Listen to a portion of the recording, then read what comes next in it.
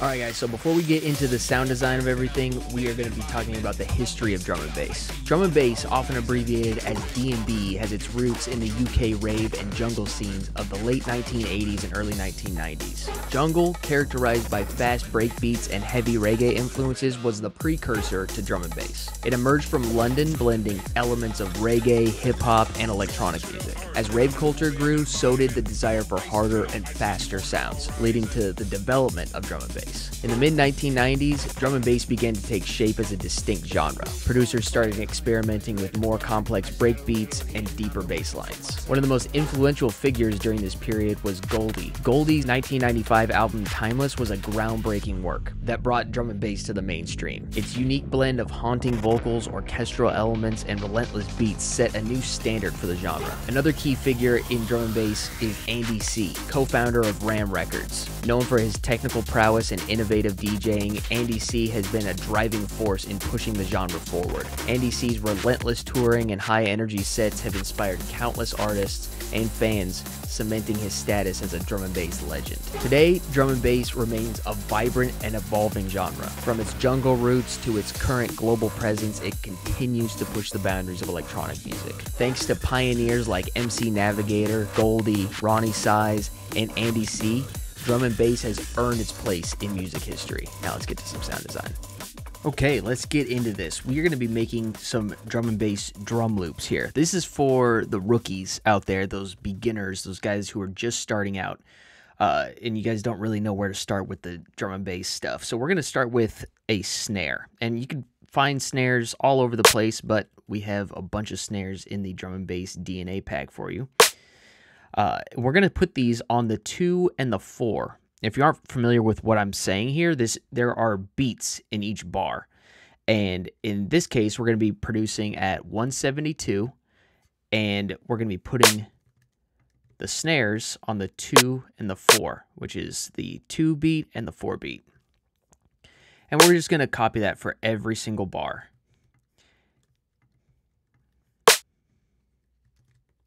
Want to make sure that those are in time.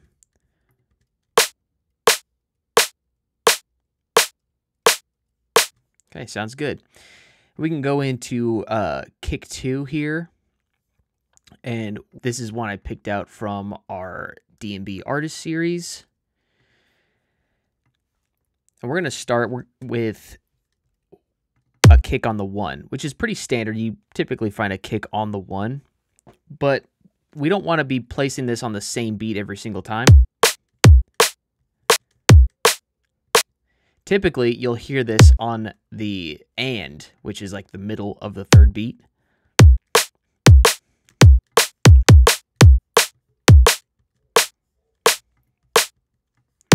And we'll do that all the way across. I mean, we could even get spicy here and put one right there.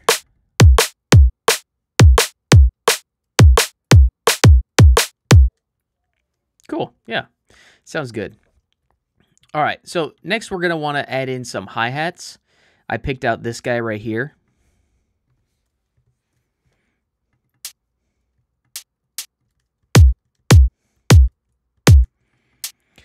And I mean, typically you'll hear quarter notes or eighth notes with some added pizzazz. I'm going to show you guys how to add that extra pizzazz here in a second, but this is what that'll sound like.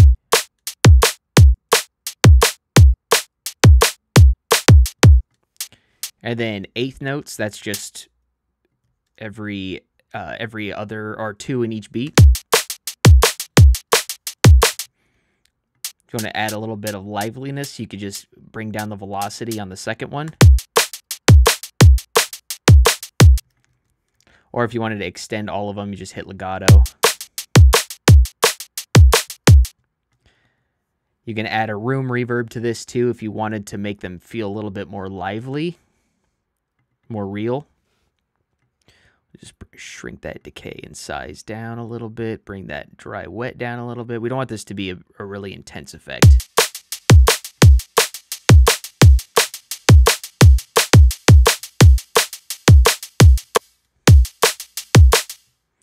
But you could take it or leave it with that.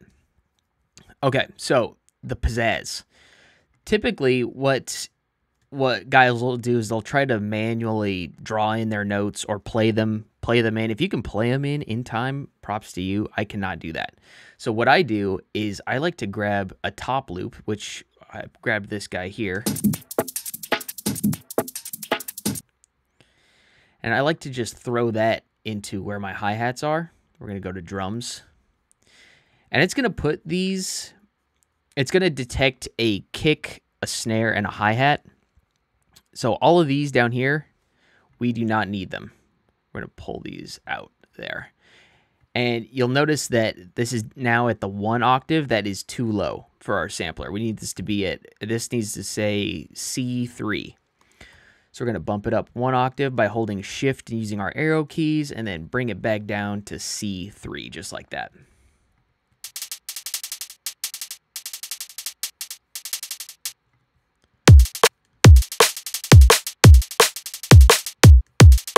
So these feel a little bit jumbled, so I'm going to try to correct a couple of these. Like, uh, yeah, let's extend this one out.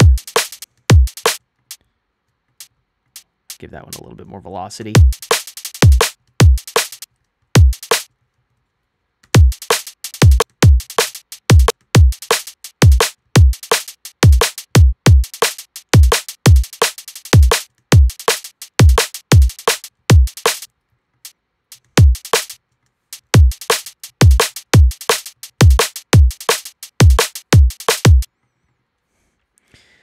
And what we could do too to make these a little bit sharper, I'll high pass these using the filter in, built inside of the simpler. We'll bring the volume up a little bit on the simpler as well. We can even make them a little tighter by switching it to one shot and then hitting fade out like this, bring that up a little bit. And then add our reverb back in.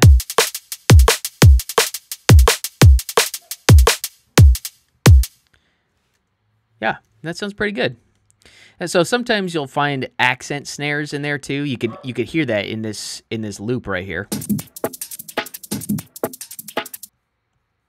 Hear that from that break. So we can sort of add in our own here if we wanted to. I've got my snare down here it sounds like this.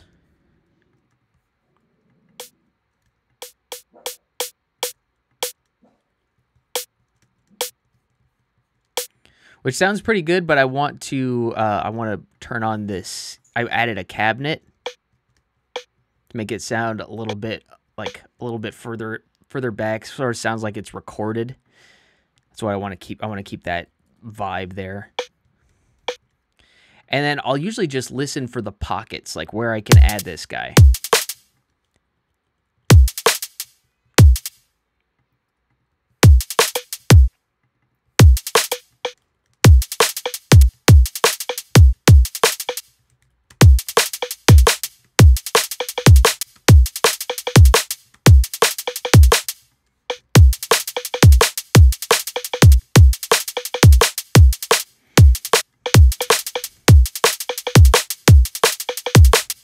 You don't want to add too many of these because then it gets too crazy and busy.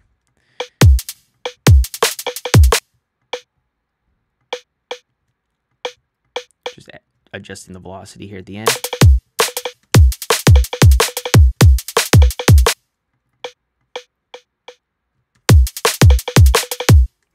But you can also go to add a groove from the groove pool if you wanted to. If you if you're wanting to know, like if you click on groove right here and nothing pops up, go up to view here hit Groove Pool.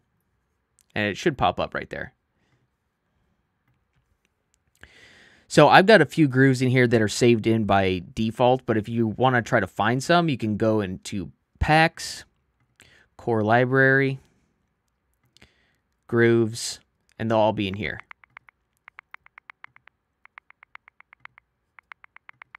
And you could find one that like, uh, like maybe you want some like swing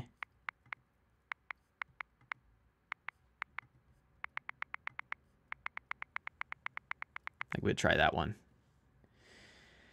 And then down here you have your groove settings. So you can sort of play with the timing, the velocity. We'll keep the timing at let's say 75%. And I'm going to go into my groove pool and then uh, select swing logic 16ths.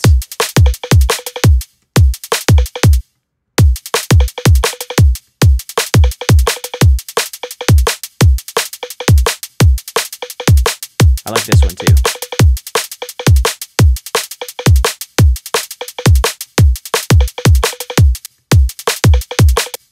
So there's like a bunch of different things you could do too that you can add in a ride over the top. Like this loop right here has a ride in it. And I like that. Sometimes I like to just add that over the top of whatever I have.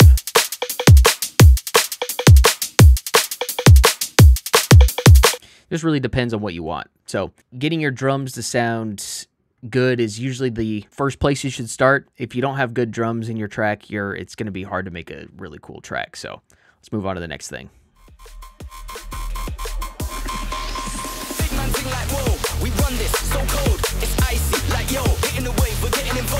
Big man ting like bro, what you say, what you know, man's big on the BPM, it's time to run the tempo.